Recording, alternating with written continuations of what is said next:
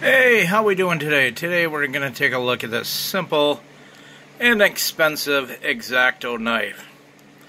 Years ago, I had two X-Acto knife sets in wooden boxes, and I had the little carving tools too. Now, also, you know, this knife nowadays, just the knife and a simple little refill blade in there.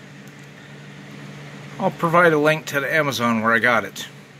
It's like $5. I think it was only a buck or two back then.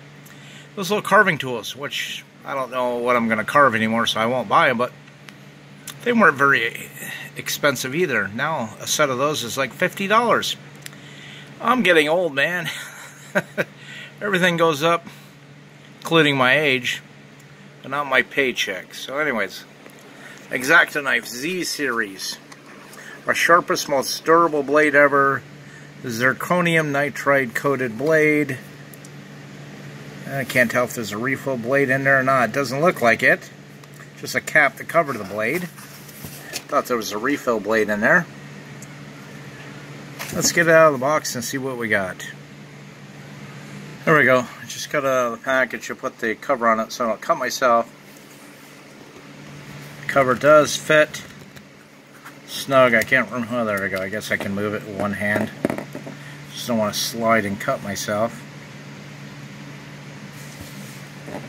Not very much. It probably only weighs a couple ounces at best, but these things are so sharp. It's amazing how sharp they are. You know, I'm surprised you don't see any videos. Maybe there are videos. Some kind of prepper doomsday is. going to use it as some kind of uh, emergency medical surgical blade or something. But uh, anyways, I don't know what more I can show you. And then you turn that, that loosens that, that pulls the blade in and out. Tighten that down, that locks. It says X-Acto. Just aluminum handle with some threads in there.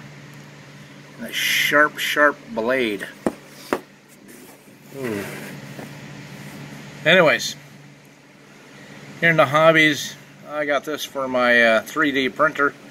Clean up some lines, clean up some splices, something like that. So, anyways, it's got a million and one uses.